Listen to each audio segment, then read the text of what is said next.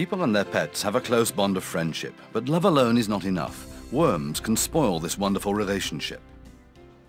Worms can occur in dogs and cats of any age. The situation is worst in puppies, who are usually heavily infested with worms. They suffer from vomiting and diarrhea and develop a pot belly. The fur is dull and lifeless. Two types of worms are found in dogs and cats, tapeworms and roundworms. Tapeworms consist of a chain of individual segments which resemble grains of rice called proglottids. They live in the intestine and can reach two meters in length. The segments are excreted in the feces and can sometimes be seen around the anus. Tapeworms are transmitted by fleas. When dogs or cats chew a flea, they can become infected with tapeworms. Mice also transmit worms. Pets that hunt mice are therefore particularly at risk of picking up worms. The second major group of worms with which dogs and cats can be infected are the roundworms. These include the large roundworms, which look like spaghetti and reach about 10 centimeters in length.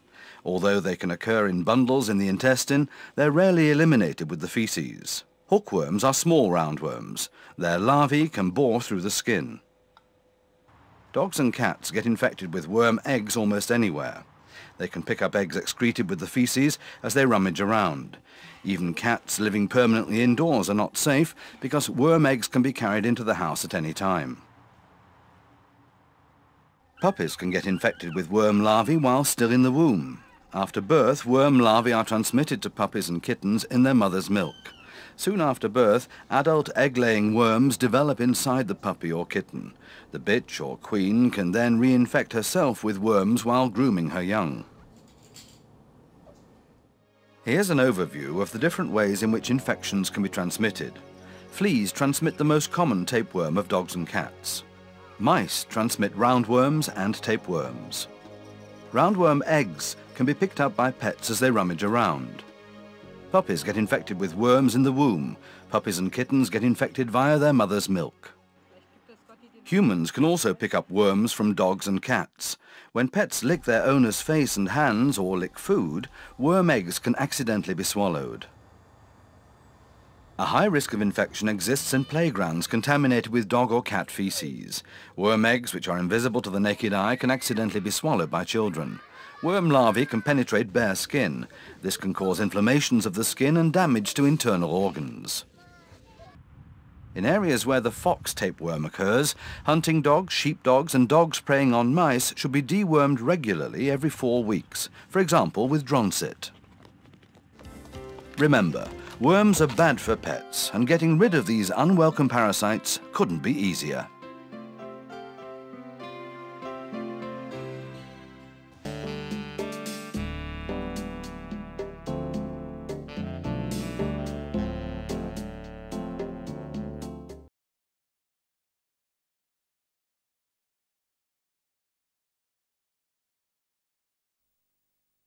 Fleas transmit the double-pored dog tapeworm Dipylidium caninum, the most common tapeworm of cats. The larva of the double-pored dog tapeworm is carried in the body of the flea.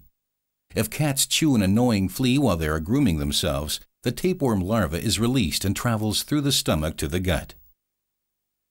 On reaching the gut, the tapeworm larva attaches itself by its head to the intestinal mucosa. Now the development from larva to sexually mature adult begins.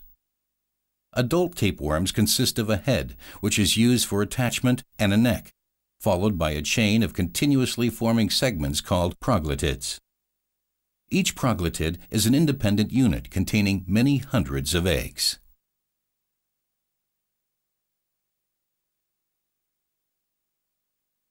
Mature tapeworm segments packed with eggs are shed individually and excreted with the feces. They are sometimes noticed as small, wriggling shapes resembling cucumber seeds or grains of rice.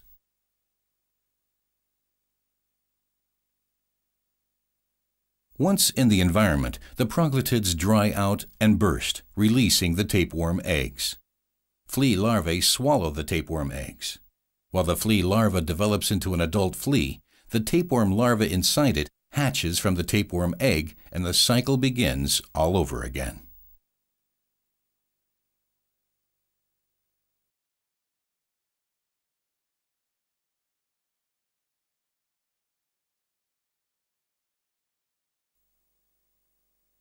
Cats can get infected with roundworm eggs and larvae almost anywhere. They can pick up worm eggs from their surroundings as they rummage around. The eggs are swallowed and enter the gut, where larvae hatch from the worm eggs. Depending on the animal's age and the strength of its immune system, the larvae penetrate the intestinal wall and embark on their migration through the body. They enter the blood vessels and are carried in the bloodstream to various organs. These organs are damaged by the migratory movements of the worm larvae. In young animals, the larvae often travel to the liver and then to the lungs via the bloodstream. From here, they reach the trachea, are coughed up, swallowed, and travel through the esophagus to the intestine, where they settle and develop into mature, egg-laying adults. Adult worms can produce up to 200,000 eggs daily.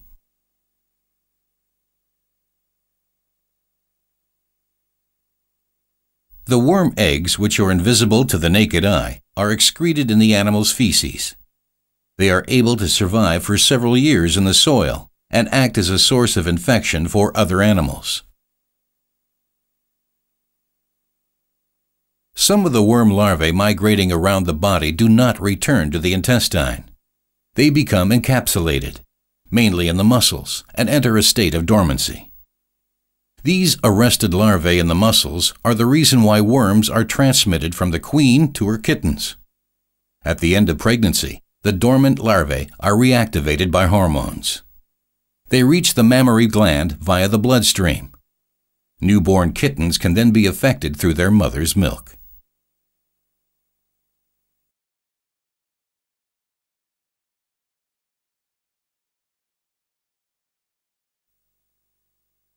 Cats can become infected with hookworm larvae as they sniff the ground. The larvae reach the cavity of the mouth and are then swallowed.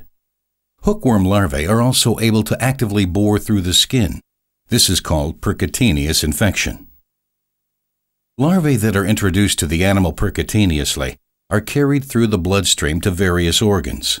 As they traverse the body, they make their way into the lungs via the heart, and from there travel into the windpipe. Once in the windpipe, they are coughed up and swallowed again, ultimately to settle in the intestine. Irrespective of whether the larvae have been introduced orally or percutaneously, they will not mature into adult worms until they have reached the intestine. The full-grown worms mainly fasten themselves to the mucous membrane of the jejunum. While doing so, they often change their point of attachment, which then usually bleeds. With their sharp teeth, they literally bite out chunks of the mucous membrane so that they can suck out some 0.1 millimeters of blood per worm per day. Consequently, a hookworm infestation can result in a severe case of anemia.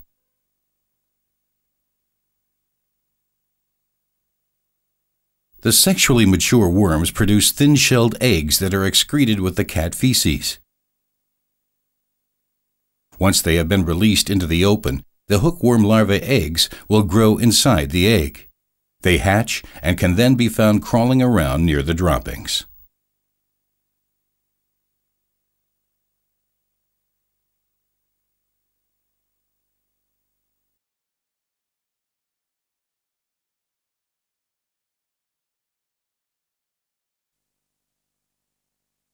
Mice and other rodents are intermediate hosts for the cat tapeworm Taenia taeniiformis. Internally, they harbor the tapeworm-like Strobilocercus larvae. If the cat eats an infected mouse, the tapeworm larvae are released and travel via the esophagus into the stomach, and from there into the intestine. This is where they will later grow into sexually mature tapeworms.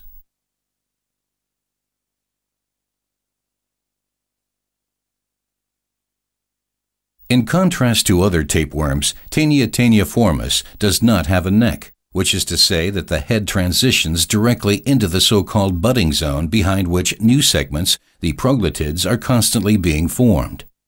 Fastened by the head to the mucous lining of the intestine, three to four new proglottids are formed like this every day. The sexually mature proglottids contain the worm eggs. Taenia taeniiformis can grow to lengths of up to 60 centimeters. The final segments, full grown and fully loaded with eggs, are segmented individually and expelled into the open with the animal feces. Once in the open, the worm eggs are pressed out of the proglottids. The Taenia egg, which can be identified by a radial striation, already contains a larva with six hooks.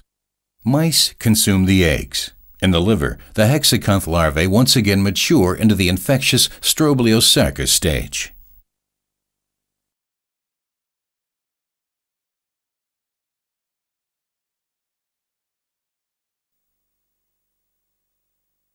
Mice are a source of infection for the little fox tapeworm Echinococcus multilocularius. Similar to its effect in people, the dangerous larval stage causes tumor-like destruction of the liver tissue in the mouse. If the cat eats an infected mouse, the tapeworm larvae will be released and travel via the esophagus into the stomach, and from there into the intestine.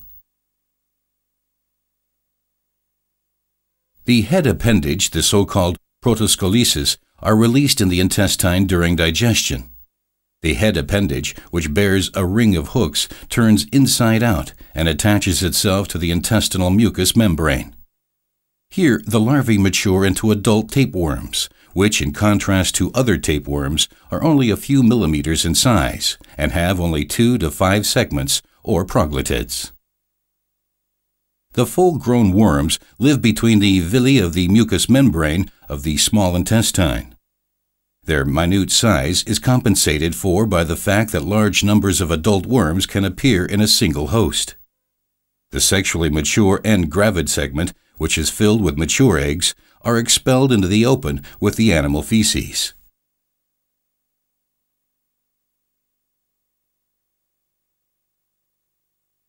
Out in the open, the proglottids dry out and the eggs enter the environment. The eggs already contain the larvae with which mice and other rodents, but people as well, can become infected. The larvae mature almost exclusively in the liver and slowly destroy it, similar to a malignant tumor. In human beings, symptoms do not appear for a number of years. By that time, the disease called alveolar echinococcosis is extremely difficult to treat and frequently deadly.